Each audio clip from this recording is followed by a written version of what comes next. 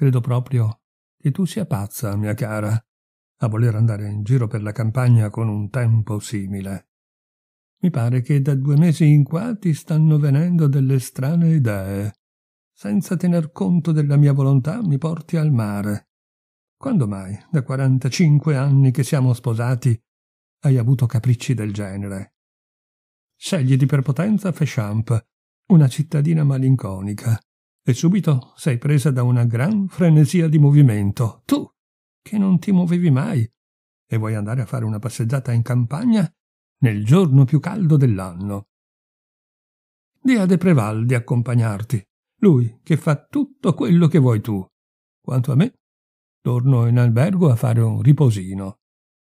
A questo punto la signora Cadur si rivolse al suo vecchio amico. Venite con me, De Preval. L'uomo si chinò con una galanteria d'altri tempi. Rispose Dove andrete voi? Io verrò. Allora andate a prendervi un'insolazione, dichiarò il signor De Cadur. Ed entrò all'Hotel de Bain per godersi un pisolino d'un paio d'ore. Appena furono soli, la vecchia signora e il suo anziano compagno si misero in cammino. Lei disse a voce bassa, stringendogli la mano. Finalmente, finalmente. Siete pazza, mormorò l'amico. Vi ripeto che siete pazza. Pensate al rischio che correte se quell'uomo. Lei trasalì. Vi prego, Henry, non dite quell'uomo quando parlate di lui. E va bene, seguitò lui bruscamente. Se nostro figlio sospetta qualche cosa, se ci sospetta, vi avrà e ci avrà in mano sua. Avete vissuto quarant'anni senza vederlo. Cosa va preso oggi? Avevano percorso la lunga strada che porta dalla spiaggia alla cittadina. Voltarono a destra per risalire la costa di Etretà. La strada candida si snodava sotto la pioggia infuocata di sole. In quel calore torrido andavano avanti lentamente, a passi brevi. Lei aveva preso l'amico sotto braccio e guardava davanti a sé con occhi fissi, carichi di pensieri. Disse Così voi non lo avete più rivisto? No, mai. È possibile? Cara amica, non ricominciamo quella eterna discussione. Io ho una moglie e figli, come voi avete un marito. L'una e l'altra abbiamo dunque da temere dell'opinione della gente. Lei non rispose, pensava alla giovinezza lontana, alle cose passate, così tristi. L'avevano sposata come si sposano le fanciulle. Non conosceva per nulla il fidanzato, un diplomatico, e aveva vissuto con lui più tardi la vita di tutte le donne di questo mondo. Ma ecco che un giovane, il signor da Preval, come l'ha sposato, l'amò con una passione profonda, e durante una lunga assenza del signor de Cadur, partito per le Indie in missione politica, lei cedette. Come avrebbe potuto resistere? Come avere la forza e il coraggio di non cedere se anche lei lo amava? No, davvero, sarebbe stato troppo difficile. Come cattiva e traditrice la vita. Come parare certi colpi del destino, come sottrarsi alla sorte fatale. Quando si è donne, sole, abbandonate, senza amore, senza figli, è possibile sempre sottrarsi a una passione che vi si aderge contro. Sarebbe come volersi sottrarre alla luce del sole per vivere fino alla morte nel buio. Come rammentava ora ogni particolare, i baci di lui, i sorrisi, le sue soste sulla porta per vederla rientrare in casa. Che giorni felici quelli, i suoi soli bei giorni, così presto passati. Poi si avvide che era incinta. Che angosce. Oh, quel viaggio nel mezzogiorno, quel lungo viaggio, quelle sofferenze, quei terrori incessanti, quella vita nascosta nella villetta solitaria sulle rive del Mediterraneo, nascosta in fondo a un giardino, dal quale non osava uscire. Come ricordava i lunghi giorni trascorsi distesa sotto una pianta d'arancio, con gli occhi alzati verso i frutti sanguigni, rotondi, in mezzo al fogliame verde. Come avrebbe voluto uscire, andare fino al mare, il cui fresco soffio le giungeva dall'alto del muro. Il mare, di cui udiva il rumore delle brevi ondate sulla spiaggia e di cui sognava la distesa azzurra, lucente di sole, con vele bianche e una montagna all'orizzonte. Ma non osava varcare la soglia. Se fosse stata riconosciuta, così deformata, col ventre greve che attestava la sua colpa. E i giorni d'attesa, gli ultimi giorni tormentosi, le apprensioni e i dolori minacciosi, poi la notte spaventosa. Quante miserie aveva subite. Che notte quella. Non faceva che gemere e gridare. Vedeva ancora il viso pallido dell'amante, che ogni momento le baciava la mano, il viso glabro del medico, la cuffia bianca dell'infermiera. E che tuffo aveva sentito nel cuore all'udire quell'esile gemito di piccino, quel miagolio, quel primo sforzo di voce umana. E il giorno dopo fu l'unico giorno della sua vita in cui aveva visto e baciato suo figlio, perché poi non l'aveva mai più neppure potuto intravedere. E da allora, che interminabile e vuota esistenza, col sempre fluttuante pensiero del figlio, che lei aveva di continuo presente nella forma di quell'esserino partorito da lei. L'aveva preso, portato via, nascosto. Sapeva soltanto che era stato allevato da contadini normanni, che anch'egli era divenuto un contadino e che s'era sposato, sposato bene, ed era stato ben provvisto di denaro dal padre, del quale ignorava il nome. Quante volte, in quarant'anni, lei aveva voluto partire per andare a trovarlo, per abbracciarlo. Non immaginava che fosse cresciuto. Pensava sempre a quella larva umana che aveva tenuto un giorno fra le braccia e stretto contro il petto palpitante. Quante volte aveva detto al suo amico Non reggo più, voglio vederlo, voglio partire. Sempre lui era riuscito a trattenerla. Lei non riusciva a contenersi, a padroneggiarsi. Il marito avrebbe indovinato, l'avrebbe spiata. Sarebbe stata allora la fine. Com'è? chiedeva lei. Non so, nemmeno io l'ho più visto. Ma è possibile? Avere un figlio e non conoscerlo, aver paura di lui, averlo ripudiato come una vergogna. È orribile. Camminavano per la strada assai lunga, spossati dall'ardore del sole, sempre salendo l'interminabile pendio. La donna riprese Non si direbbe un castigo. Non ho mai avuto altri figli. No, non posso più resistere al desiderio di vederlo, che mi ossessiona da quarant'anni. Non potete capirle queste cose, voi uomini. Pensate che sono vicinissima a morire. E non lo avrei più riveduto, mai più. È possibile. Per tutta la mia vita ho pensato a lui. Che orribile esistenza ho vissuto per questo motivo. Nemmeno una volta, non una volta, capite, senza che il mio primo pensiero non sia stato per lui. In simili casi non si deve aver paura della gente. Avrei dovuto abbandonare ogni cosa e seguirlo, allevarlo, amarlo. Certo sarei stata più felice. Non ho osato. Sono stata vile. Quanto ho sofferto. Oh, queste povere creature abbandonate, come debbono odiare le loro madri. Ad un tratto si fermò, soffocata dai singhiozzi. Tutta la valle era deserta e muta sotto la luce abbagliante del giorno. Soltanto le cavallette facevano udire il loro fruscio secco e continuo nell'erba gialla e rara dei due pendii che davano sulla strada. Sedetevi un po', disse l'uomo. Lei si lasciò condurre fino al ciglio del fosso e vi si sedette col viso fra le mani. I suoi capelli bianchi, acconciati in boccoli ai due lati del viso, si scioglievano e lei piangeva, stracciata da un dolore profondo. L'amico restava in piedi, di fronte a lei, inquieto, senza sapere che dirle. Mormorò Su, coraggio. La signora si rimise in piedi. Ne avrò, disse, e asciugandosi gli occhi riprese a camminare con un passo affannato di vecchia. La strada si inoltrava un po' più lontano sotto un gruppo di alberi che nascondevano alcune case. Percepivano ora i colpi vibranti e ritmati di una mazza di fabbro sopra un'incudine.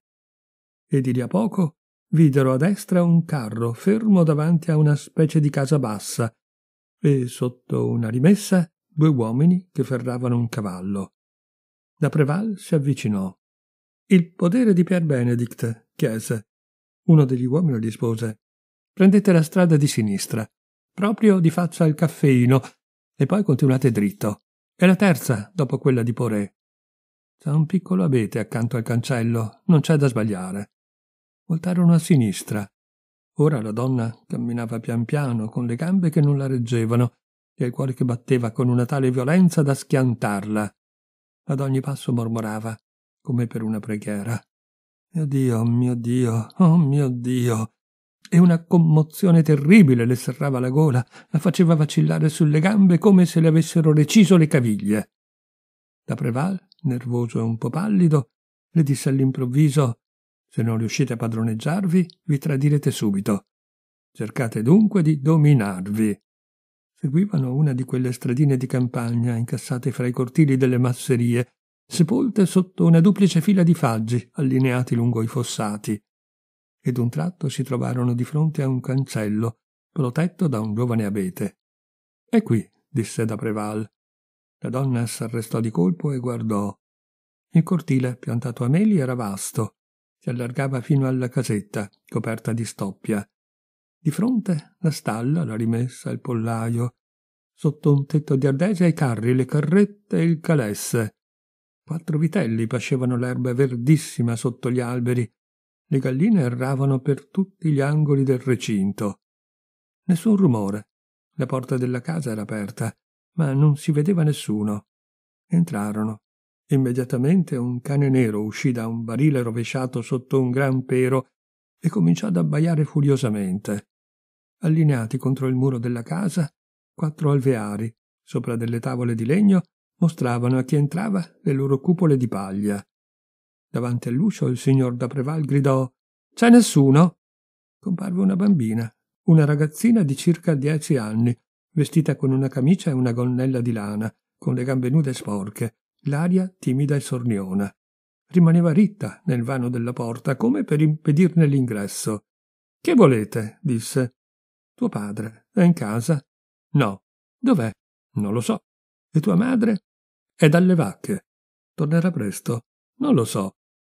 La vecchia signora improvvisamente, come se avesse temuto che la trascinassero via a forza, disse precipitosamente non me ne andrò senza averlo visto. Aspetteremo, cara. Voltandosi, videro venire verso la casa una contadina che portava due secchi di zinco, pesanti all'apparenza, e che lanciavano a tratti sotto il sole bianchi bagliori accecanti. Zoppicava con la gamba destra e aveva il petto infagottato in un giacchetto a maglia scuro e sbiadito, lavato dalle piogge, scolorito dal sole. Pareva una povera serva, misera e sudicia, Ecco mamma, disse la bambina. La donna, quando fu vicino alla casa, lanciò ai due estranei un'occhiata cattiva e diffidente ed entrò in casa come se non li avesse nemmeno visti. Pareva vecchia, aveva il volto incavato, giallastro, duro, il viso legnoso dei contadini. Il signor da Preval la chiamò. Signora, siamo entrati per chiedervi se potete venderci due bicchieri di latte. Dopo aver posato i suoi secchi, la donna tornò ad affacciarsi sulla porta e brontolò Non vendo latte. È che abbiamo molta sete. Questa signora è anziana e molto stanca. Non c'è modo di avere qualcosa da bere. La contadina li osservava inquieta e sospettosa. Alla fine si decise Dal momento che siete qui ve lo darò lo stesso, disse, e scomparve in casa. Uscì la bambina con due sedie che mise sotto un melo. Poi venne la madre con due ciotole di latte schiumoso che mise nelle mani dei visitatori e restò in piedi davanti a loro, come per sorvegliarli e indovinare le loro intenzioni. Siete di Féchamp? chiese. Sì, rispose da Preval. Siamo a Féchamp per l'estate. Poi, dopo una pausa, aggiunse Potreste venderci dei polli tutte le settimane? La contadina esitò, poi rispose Certo, se volete. Ma che volete, pollastre o galline? Pollastre. Quanto le pagate al mercato? La Preval non lo sapeva e si voltò verso la sua amica. Quanto pagate le galline, mia cara, quelle giovani? Lei balbettò con gli occhi pieni di lacrime. Quattro franchi, quattro franchi e cinquanta. La contadina la guardava di sottecchi, stupita, poi chiese Si sente male questa signora, che sta piangendo?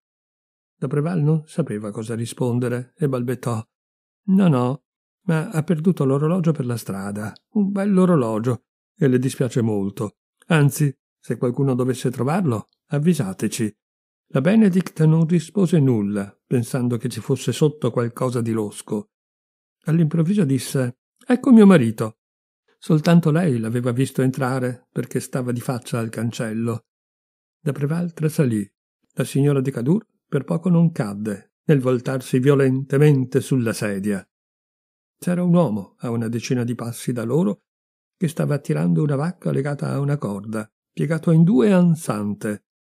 Senza curarsi dei visitatori disse Maledizione, che bestiaccia!